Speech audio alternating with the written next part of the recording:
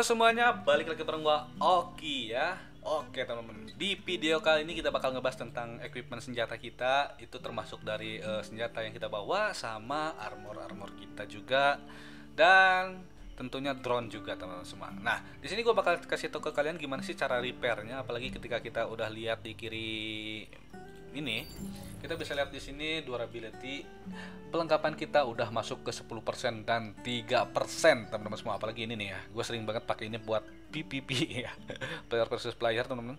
Nah jadi kalau kalian udah mengalami hal ini teman-teman semua misalnya eh, senjata kalian udah mau rusak atau senjata happy kalian udah mau rusak bagusnya gimana? Karena kemarin gue ada yang nanya bang katanya kalau senjata rusak tuh mending dibuang atau hancur bakalan hancur nggak sih?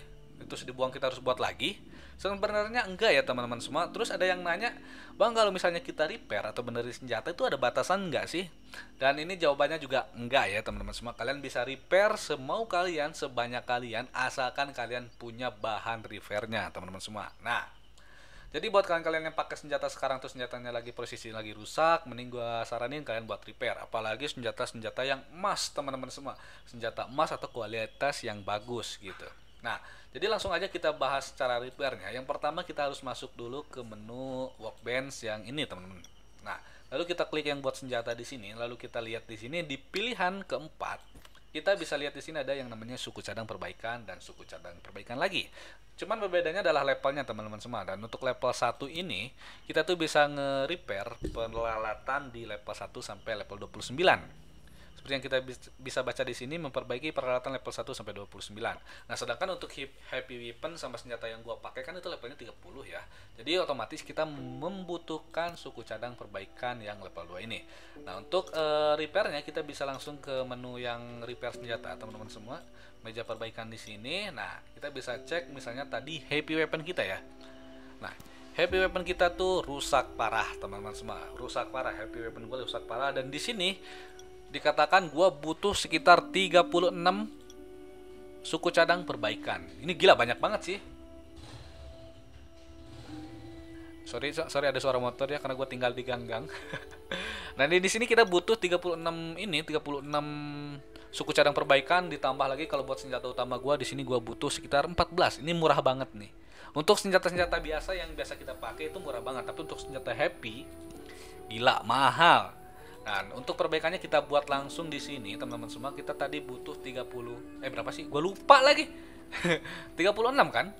36 ditambah 14 36 tambah 14 40 50 50 udah 10 berarti gua harus bikin sekitar 40 teman-teman semua kita bikin 40 ini kita buat nah dan untuk eh, craftingnya sendiri kita butuh copper ore kulit binatang kecil batang es sama prairie prairie black seed ya. Di sini kita bisa dapetin getter di ini di map resource level 30 itu central plain. Kalian bisa dapat di sana kalian bisa eh, getter kayu batu dan flex ya teman-teman untuk dapat itu semua.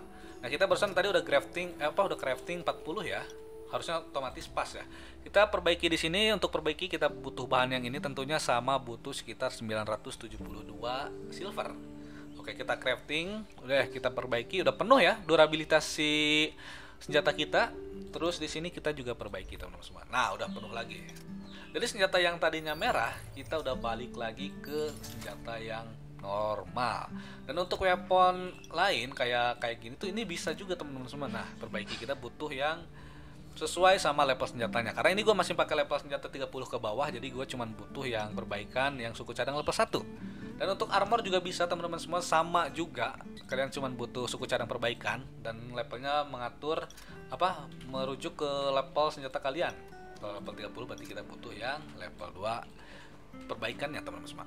Oke, jadi buat kalian yang kebingungan kalian bisa langsung perbaiki senjata kalian dan jangan dihancurin teman-teman semua karena susah banget buat crafting itu apalagi buat pre player teman-teman semua batu langka itu benar-benar emang langka berbeda dengan sultan ya sultan tuh kita kita tinggal buat apa tinggal buat udah ada yang ngajak dari ya tinggal buat top up aja udah beli aja udah langsung beres teman-teman Oke, jadi untuk videonya cukup cukup sampai sini aja dulu. Sorry banget gue masih belepotan, gue masih coba belajar pelan-pelan ngomong. Kalian suka video ini, kalian bisa like video ini dan juga kalian bisa subscribe channel gue agar kalian nggak ketinggalan video gue yang selanjutnya. Dan jika kalian ada eh, mungkin tambahan atau komentar kalian langsung komentar di video ini. Oke jadi videonya sangkup sampai sini aja dulu. Terima kasih dan sampai jumpa di next video. Bye bye